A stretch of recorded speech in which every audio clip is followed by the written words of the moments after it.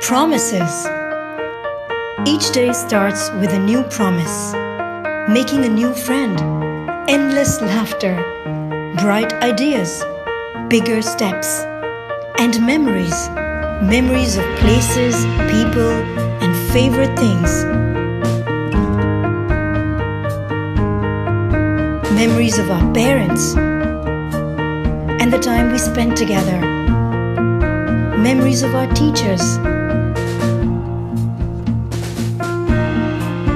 Creating, reading, inventing, learning.